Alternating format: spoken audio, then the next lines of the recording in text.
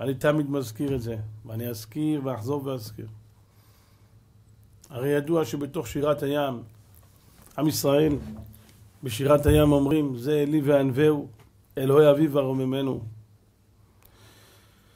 מה למדנו מהמילים זה אלי וענווהו? כולנו זוכרים, נכון? זה אלי וענווהו. למדנו בהלכה שזה אלי וענווהו יתנאה לפניו במצוות. זאת אומרת שאופן שעושה מצווה, להתנאות, לעשות את המצווה בצורה נאה ויפה.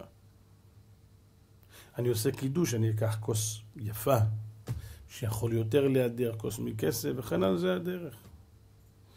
אדם עושה תפילין, עושה תפילין נאות. משלם יותר כסף בהידור. אדם עושה ציצית, יעשה ציצית יפה. כל, כל מצווה שאדם עושה, עושה אותה בנוי והידור, כמו לולב. כל דבר עושה אותו יפה. אני בא לשרת את המלך. איך באים למלך? מה, אדם יבוא יביא למלך, אני יודע מאיזה סמרטוט? לא, הוא בא בצורה הכי מכובדת שיכולה להיות, אתה בא למלך.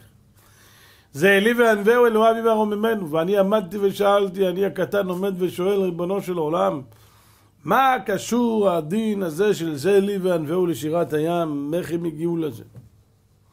אלא רבותיי, חשבתי, ובאמת בסייעתא דשמיא זה אמיתי. הרי עם ישראל באמת ידעו עם דברי חז"ל, שכתוב בפסוק והמים להם חומה מימינם ומשמאלם, חומה כתוב בלי ו', חמה. חמה, כמו שכולנו יודעים, זה כעס. וחמת המלך שכחה, וחמתו בערה בו, חמה זה כעס. והמים להם חמה, המים בכעס. מה קרה?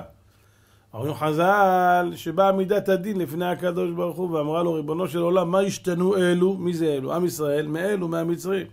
מה השתנו אלו המצרים מאלו עם ישראל? למה אלה יטבעו ואלה יישארו חיים? מה, עבודה זרה? הללו עובדי עבודה זרה, והללו עובדי עבודה זרה. הרי עם ישראל גם היו עובדים עבודה זרה במצרים. אז מה? רבותיי, הקדוש ברוך הוא אמר, ואומר לך בדמי חי, ואומר לך בדמי חי.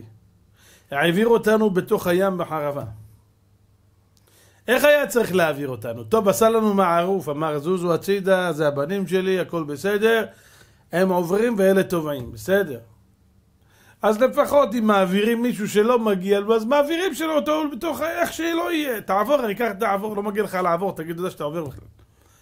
אבל להעביר אותם בתוך הים, ועוד לעשות להם את המים, את, את הרצפה, שלא תהיה בוצית, שילכו בבוץ. הם עובדים עבודה זרה, לא מגיע להם גם ככה לצאת. אז תשאיר להם את האדמה בוץ. ואל תיתן להם מים מתוקים וקרים מתוך הקירות, ואל תיתן להם פירות בדרך, אבל הקדוש ברוך הוא ישתבח שמו ויתעלל לעד עושה את הכל בצורה הכי יפה שיכולה להיות. בתוך הים, בחרבה. עשה להם אבנים משתלבות בתוך הים. עשה להם קירות שקופים. עשה להם מים קרים. עשה להם פירות. נמצאים בטיול. טיול שנתי.